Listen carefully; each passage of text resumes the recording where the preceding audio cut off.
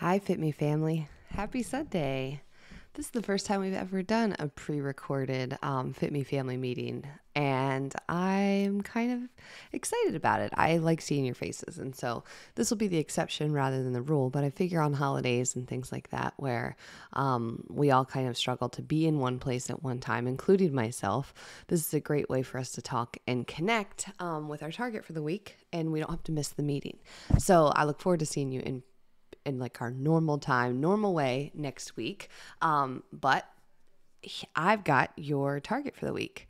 So, first off, um, announcement. A couple of you guys have seen on my uh, my stories, my Instagram stories, uh, mentions of the Fit Me app, and I have told you guys about that. That it is coming. I am very excited that that will be um, to you guys in the very, very near future. Um, and so we are in the final stages of testing, and I'm super, super pumped because this is going to replace your um, your tracker, your Google Sheets tracker altogether. It's also going to be a way that you can communicate with your coach, that you can share information about what you're doing, that you can customize some of your your daily targets. Um, you can see what other people are succeeding in doing, it's going to be so cool. Um, and it syncs. If you're somebody who wears an Apple Watch or a Fitbit, it syncs with those. Um, but if it if you don't wear those, that's fine because you can still use the app for all sorts of things. So um, just a little sneak peek preview of what's to come. But the Fit Me app is like right around the corner. Um, we're also going to use it to share. Uh, things like this um, where maybe there's a call replay or maybe there's an announcement, um, you will get that notification from your FitMe app. So um, I cannot wait for you guys to get it. And uh, second, second announcement is if you are going to the Maryland event, I cannot believe we are only two weeks away. Um, but your metabolism audit homework is due tomorrow. Um, remember the metabolism audit is optional. So if you would just want to use it as like a learning experience you do not need to do the homework piece. But if you want the personalized review with personal recommendations based off of you, your exercise history, your diet history, and really how to improve. You know, what does metabolism even mean? Well, to be honest, it just means how well does your body burn calories? How well do you take food, turn it into energy, use that energy, you know, and um, how does your body store body fat? That's really what we're talking about. And so we're going to take a look, we're going to deep dive into your, you know, your history of what you've done in the past, what you've eaten before, how you've exercised, what you're currently eating right now. Um, we're going to get a picture of how your body is doing right now. Again, like it doesn't mean bad or good, it just means it's information, right? It's like if if you are interested in this information, well, then we as your coaches can give you some feedback. If you're like, "You know what? It's not for me." But I'm interested. I just don't need the personalized part. Then, when you're there at the Maryland event, you're going to hear a ton of good stuff that you're going to be able to use without the individual audit. But if you want the individual uh, audit and you get personalized recommendations that are practical. Um, so things that you can use like in your everyday life, then your homework is due at the end of the day tomorrow. Um, so get that over to Coach Molly so that we can work on it because we're working on those on Tuesday. Um, so I think that's it for the announcements. I cannot wait to see you guys in Maryland. Um, Maryland registration is closed, um, but Washington is still open, and so um, it's just a couple weeks until I get to see a whole bunch of your faces in Maryland. So yeah, that's it for announcements. Um, metabolism audit and the app. So the target for the week, you know, it's it's Labor Day weekend, so a lot of you have tomorrow off, and I wanted to share something. We've talked about this in a couple of different ways in regards to like the seven day reset. Now, the seven day reset encourages you to clean out your environment, but I want to be specific today. I want to challenge you to do something specific with your environment. Um, and if you have time today, great. And if not, then I want you to tackle this tomorrow. And if you need help, if you're like, I actually don't even know how to do that, then reach out to your coach because this is what your target is anyway. So we're getting ready to go into the fall. This is a busy season for a lot of people. If you have kids, it's busy. If you don't have kids or they're grown, it's still busy because it's a new season. Um, things just change when the seasons change. So we go into this season sort of with the idea that our kitchen should support our activities. And we need some of that to happen automatically. Well, one of the best things that you can do is to organize the places that you spend time so that you can get stuff quickly and then it feels good when you open it. And I know that you're like, well, Christy, like, yes, but tell me more because what do you mean? Well, here's the challenge for the week it's simple. I want you to clean out your fridge.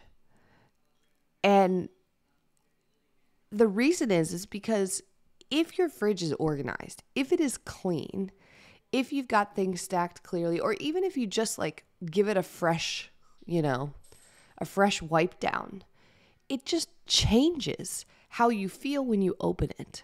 And I know I'm right. And it's subtle, but it matters. When your stuff is stacked and piled all over each other, it's hard. It's hard to reach past something and reach for those veggies. If they're buried in the back, they're going bad. Um, this is something we, we've got to do periodically anyway, but it's something that nobody really talks about in terms of how it's connected with eating healthy. I feel like pidge, pidge, fridge, and pantry cleanouts are this kind of like unsung hero of healthy choices. Um, and if your fridge is in super great shape, like you just cleaned it out or something, then you get to do your pantry. Um, but the fridge to me is more doable. You can pull everything out. So here's what I consider a fridge clean out. And you know what's so funny is my fridge gets cleaned and organized every couple of months. Um, but it was fun when the Fit Me team came here last year for our Fit Me team training. Um, Leah actually tackled my fridge, which was funny because we were so busy getting ready for everybody to come that it was not in great shape when everybody got here. But after she helped me tackle my fridge, we just kind of worked on it together. Again, there was no judgment or weirdness about it. It was like, let's get this sorted and organized. We got a lot of people in this house. We're going to be getting a lot of food out of here. Like, let's let's organize. Um, it felt so much better. And so I want to challenge you to do the same. So here's what I would suggest you do. This is just my couple quick easy steps. I recommend that your counters are cleaned off and you take everything out of the fridge. This is the first step. It's harder to clean it if you leave stuff in there and you're just kind of shifting stuff around. So, step one, everything come out of the fridge. Then, what I want you to do is I want you to wipe it down and clean it. Mine has like little uh, shelves that I can take out. Um, and the best way to clean it, there's two ways. But if there's kind of like greasy stuff on there, then you actually want to use like Dawn dish soap or just your normal dish soap. So put it in the sink and you can kind of scrub it and wash it um, and dry it.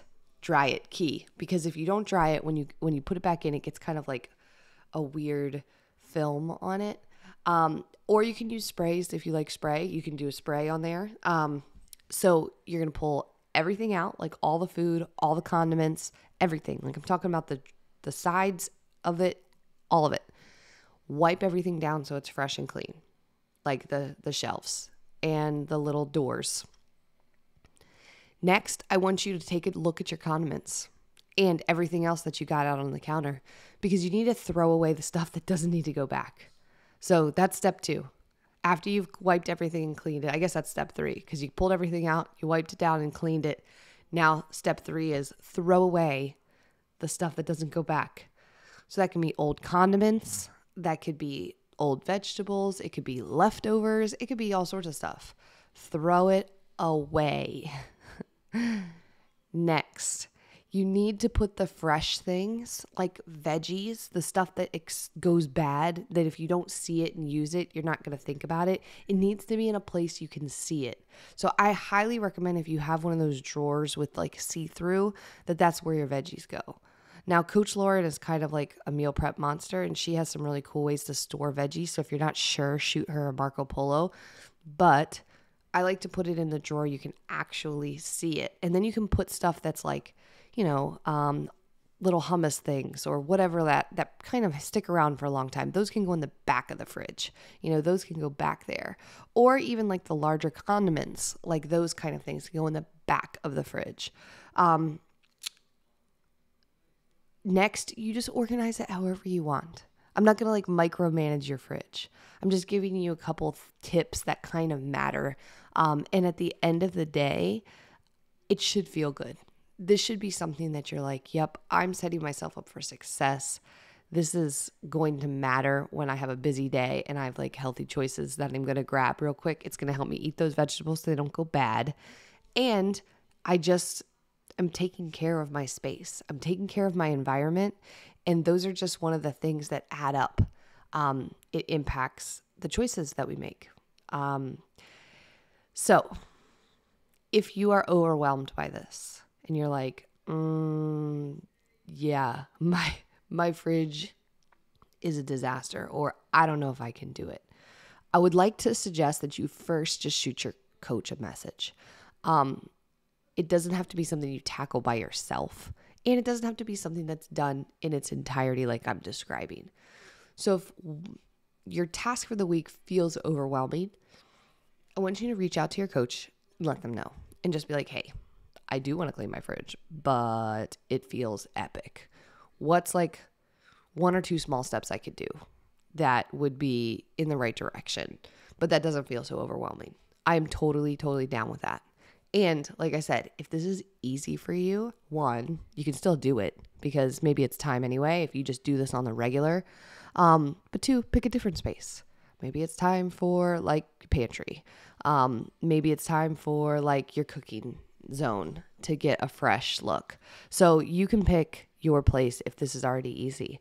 Um, and then what I'd like you to do is think about that when you do this again, whether it's in a couple weeks, if it's once a week, if it's once a month, that you already know how to do it.